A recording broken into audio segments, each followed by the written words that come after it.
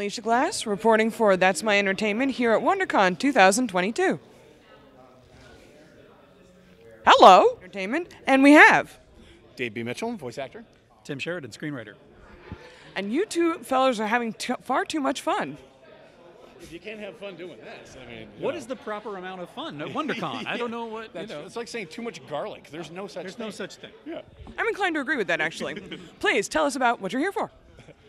Well, uh, I'm actually here, uh, part of the DC showcase for the losers. Uh, I play Gunner and Sarge in the losers, and we're here to talk about that and kind of show off our little work. And uh, Yeah, I mean, I, you know, we, um, I- you know, we just the, the showcase shorts are. he wrote it. I did.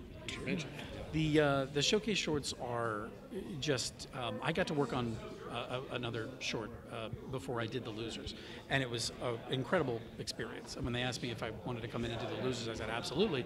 Um, I, you know, I think one of the things about this group, I think all of us, everybody here, we're all fans, all of us, Yep, right? absolutely, And so, yeah. as a fan, the opportunity to get to explore characters from the canon who we don't normally get to see on the screen, So true. you know, it, it's it's exciting. Um, and so, you know, that's that's that's that's what that's why we do it. That's this is we do this because we're fans. And how did you get in on this? Um, I auditioned. and they, He begged to Yeah, audition. usually, He yeah, I actually slipped 10, 20 bucks, and he's like, okay, fine, you can come to it.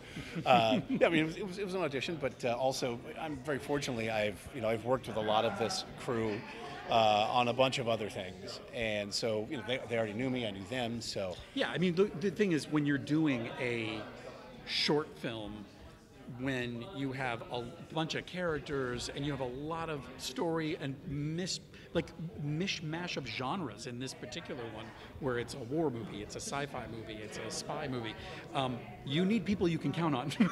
You've got to be, to be able to have actors who can come in who you know are going to be able to deliver and deliver what you need.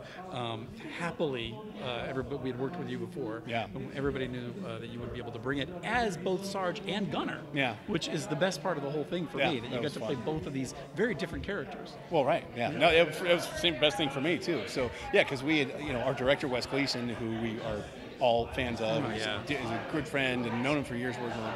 Uh, and I had done the, uh, the Mortal Kombat Legends films before this, because I, I was Raiden and Kintaro and Sector in those.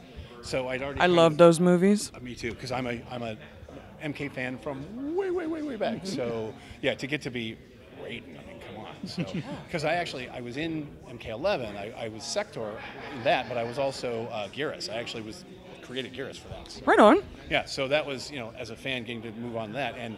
Just the work these guys do, the, the writing, the animation, that style, the, the DC stuff is just so cool. It really is. It's got such a, a unique identifiable character, and as fans, you, you, it resonates with you. It's like, yeah, that's the feel. That's so. Yeah, I, it was just it was a joy to get to come in and do this, and because again, it was one of the more underrepresented titles that, that I wasn't. As, I mean, I was familiar with it, but wasn't one that I had read a lot because it really. I mean, I'm, I'm 52. I was born in '69, so it kind of was not really you know, 70s, 80s wasn't really a thing. I was a huge Sergeant Rock fan, uh, Sergeant Fury. I kind of read all those things as a kid, but uh, just being aware of this, and when this came up, and I got the audition, I was like, oh, that's cool, the losers. And then got to play two parts, was like, yay. What style did you choose for the segment?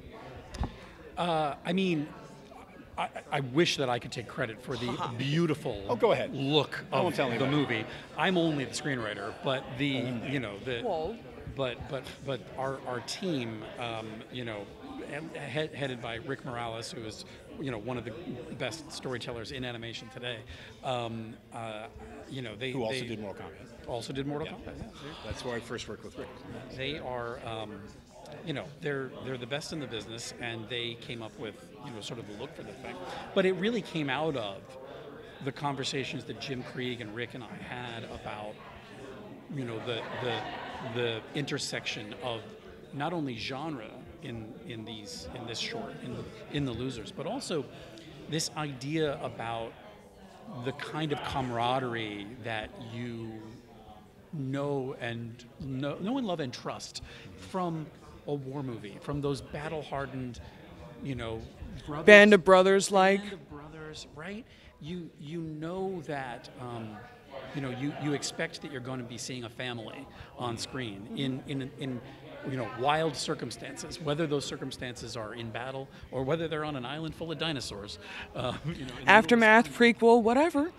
yeah, and um, so so that, that that was kind of, I think all of those conversations led to kind of what what the what the the meat of the story would be, and that ended up No influencing. Yeah, Spoilers.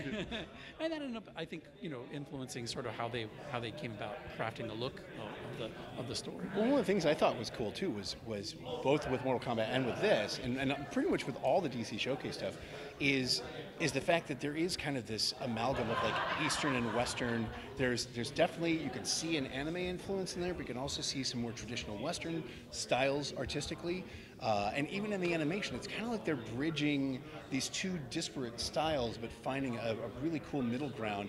To, to, for storytelling and for, for look and I mean it just it's He told you he's a fan, right? Like that's Fan is short for fanatic. Oh yes, it's true. it. Yeah, yeah. But that, that's the thing as a fan too is that, that you know it, that helps with the work. Mm. Also, just because uh, I mean, I you know we care about every job we do. We do, and, and it's even if we sometimes, I think sometimes people are, oh you don't you don't know it inside and out. It's like I worked on it one day, so you know your experience with it is different than mine. But I can tell you, anything that that is something I'm watching, like you, you want to talk about Star Trek? Hey, I just met the Gorn. Like I just made my day. I, I met Bobby Clark now. I got a picture with the Gorn, so I'm the happiest man in the world right now. I'm obsessed with the Gorn. So, but so that that plays into it just because also it gives us a common vocabulary for writers and artists and director and actor to to be able to kind of all understand each other and have this you know this vision of like oh okay we all know what we're trying to achieve and we know how to communicate it to each other because we also are fans and we know what you know we want to do service to the fan community as well because we you know we're creating entertainment to hopefully entertain people and, and make fans happy and say yes this is what I've been wanting to see for 20 years or you know I, so I have a question for you. oh By all means. All right.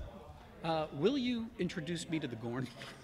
he's he's down there actually yeah he's sitting he's got a table You will? Bobby Clark is down there yeah All right. This this is happening. uh, if yeah if we can get down there well yeah we'll, we'll catch him All right. I don't buy it. We'll see. You two are wonderful. Thank you so much. Hi I'm Dave B Mitchell voice actor voice of Sarge and the Losers that's my entertainment what's yours